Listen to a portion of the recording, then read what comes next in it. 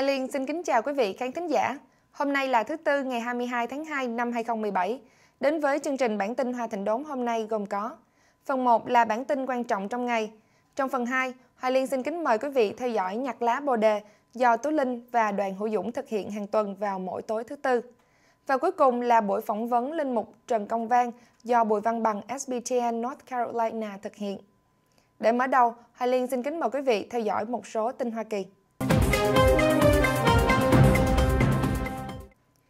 Chính phủ Trump ban hành hướng dẫn mới thắt chặt thực thi luật di trú. Không che giấu lập trường trục xuất di dân bất hợp pháp.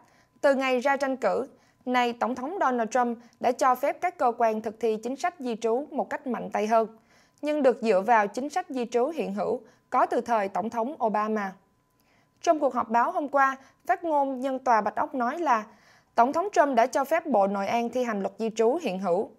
Theo hướng dẫn mới của tòa Bạch Ốc, chính thức được phổ biến hôm qua, chính phủ Trump dự trù sẽ coi mọi di dân bất hợp pháp đều có thể bị trục xuất và sẽ để lại những bảo vệ cho những di dân được coi là Dreamers, vốn đã đến Hoa Kỳ bất hợp pháp khi còn nhỏ. Hướng dẫn của Bộ Nội an cho các nhân viên di dân là một phần của một kế hoạch lớn hơn cho an ninh biên giới và áp đặt chính sách di dân nằm trong các sắc luật mà ông Trump đã ký hôm 25 tháng Giêng. Ông Spicer tuyên bố với các báo chí là những hướng dẫn mới này sẽ giúp cho các nhân viên của các cơ quan di trú thi hành trách nhiệm theo đúng luật. Những hướng dẫn mới đưa ra các kế hoạch chi tiết để gia tăng tiến trình trục xuất, tăng số di dân lậu bị trục xuất sớm và lập danh sách bổ sung nhân lực cho các cơ quan thi hành luật pháp tại các địa phương. Kế hoạch này cũng bao gồm việc tuyển dụng thêm 15.000 nhân viên hải quan, di trú và tuần tra biên giới. Theo Tòa Bạch Ốc, mục tiêu hiện nay không phải là một đợt trục xuất, mà là hàng loạt. Thông điệp mà Tòa Bạch Ốc và Bộ An ninh Nội địa muốn gửi đi là các di dân bất hợp pháp đang là một mối đe dọa đối với sự an toàn của công chúng hoặc đã phạm tội sẽ bị trục xuất trước và chính phủ Trump kiên quyết bảo đảm rằng điều đó được thực hiện. Nhiều vị dân cử Cộng hòa ở nhiều tiểu bang đã bị cử tri giận dữ vì họ ủng hộ Tổng thống Donald Trump nhiều vị dân cử thuộc đảng Cộng hòa tại nhiều tiểu bang đã phải đối đầu với những cử tri vì họ ủng hộ Tổng thống Donald Trump tại các cuộc họp làng Town Hall Meeting hôm qua. Một người dân ở Florida hỏi dân biểu Dennis Ross ở một cuộc họp làng Clement, Florida, ông làm gì để bảo vệ công dân Hoa Kỳ trước những chi phí vô lý?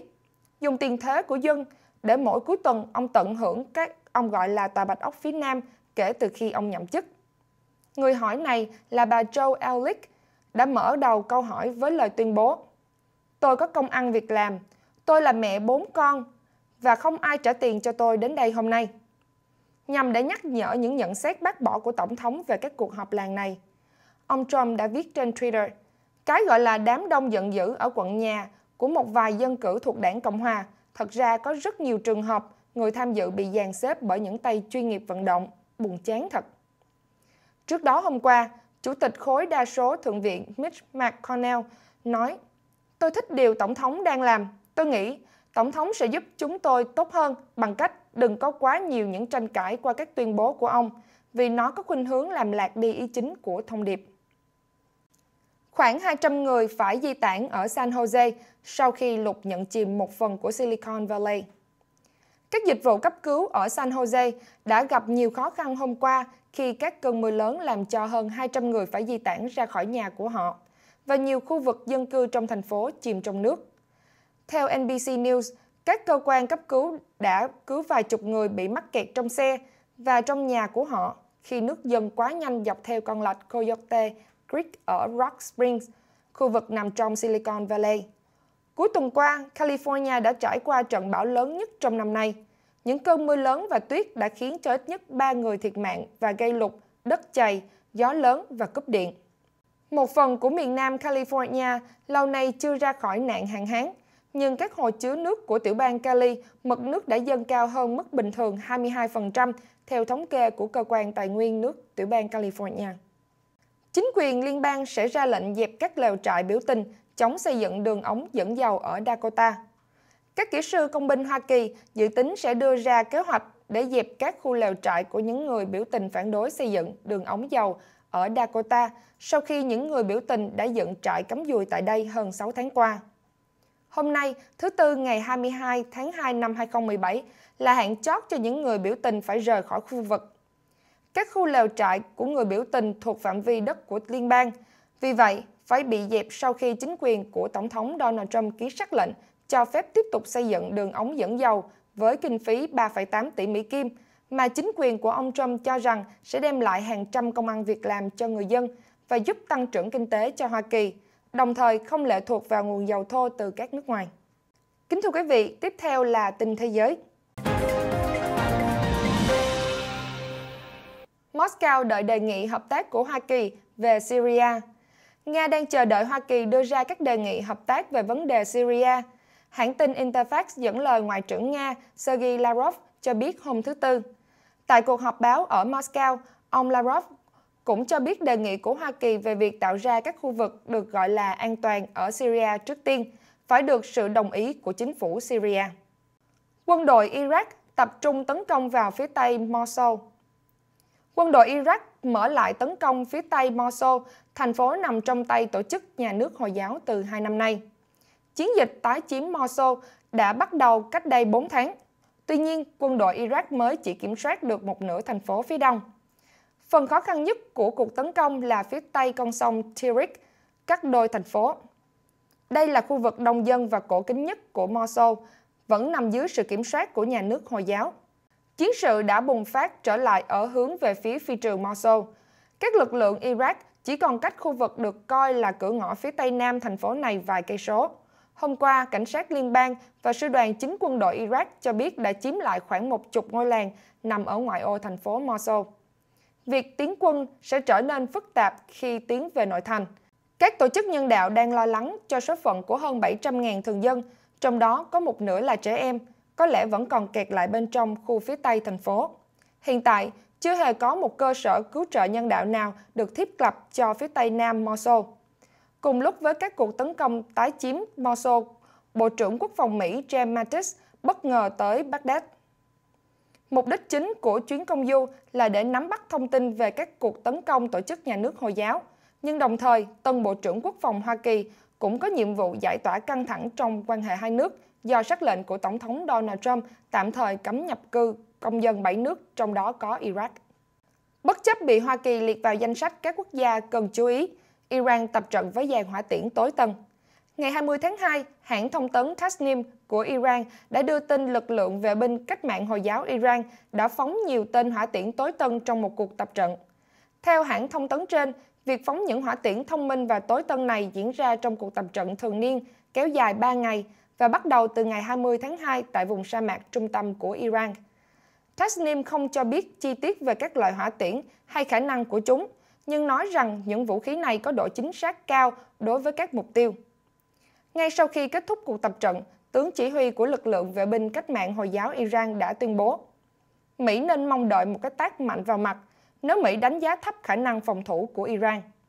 Sau khi nhậm chức, Tổng thống Hoa Kỳ Donald Trump đã cam kết sẽ cứng rắn với Iran và đưa ra lời cảnh báo với nước Cộng hòa Hồi giáo Iran sau vụ thử hỏa tiễn đạn đạo tầm trung vào ngày 29 tháng 1, mà theo lời tuyên bố của ông Trump là Iran đang đùa với lửa và Hoa Kỳ đã có những chọn lựa sẵn sàng để thích ứng. Ông Trump cũng ra lệnh liệt Iran vào danh sách các nước cần được chú ý và theo dõi. Kính thưa quý vị, vừa rồi là bản tin của SBTN Washington DC. Hoài Liên xin cảm ơn quý vị đã theo dõi. Kính thưa quý vị, chương trình đến đây xin tạm ngưng trong giây lát. Kính mời quý vị trở lại với phần 2 sau phần thông báo và quảng cáo.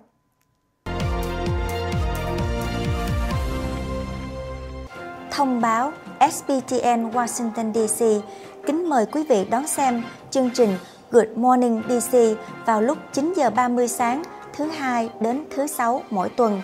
Mọi liên lạc xin gọi Võ Thành Nhân 301 257 8496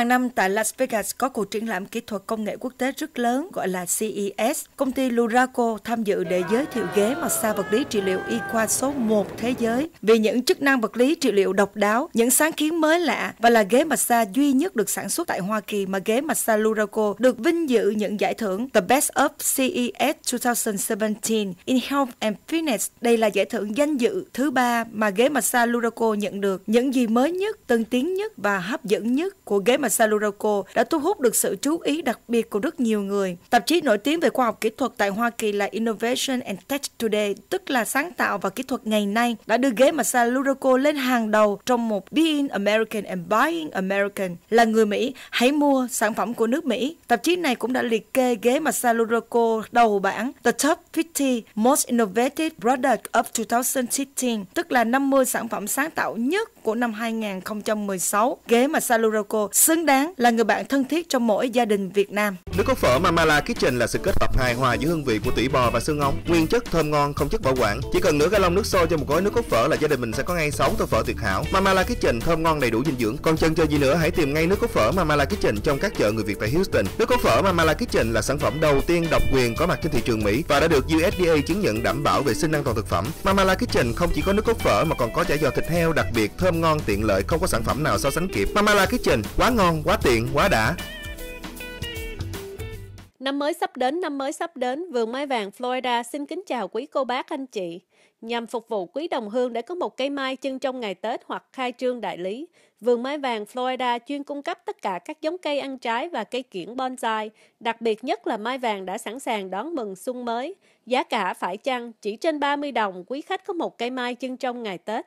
Xin quý khách vui lòng gọi số 941 301 9251 941 301 9251 hoặc vào trang nhà www.maivangflorida.com. Vườn Mai Vàng Florida xin trân trọng kính mời.